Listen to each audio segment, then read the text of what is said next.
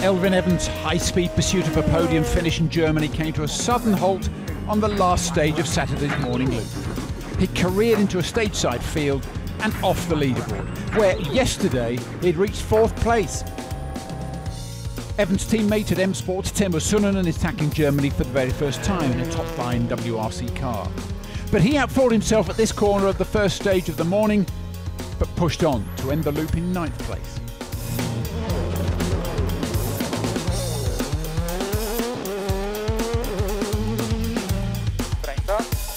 Dani Sordo's made the best of the road condition and his starting place. He won stage 9 to move into fourth place. Great news for Hyundai and their bid for the Manufacturers' Championship.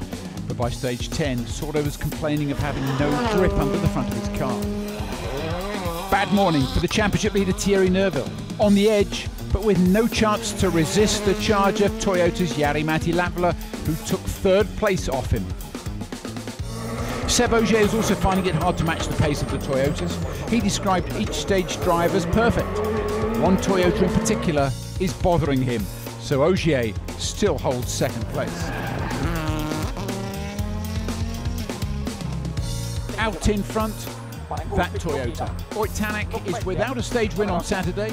He won five yesterday, but his lead at the lunchtime service was still over 14 seconds. Behind the leading three, Neuville then down to fourth, and his teammate Dani Sordo.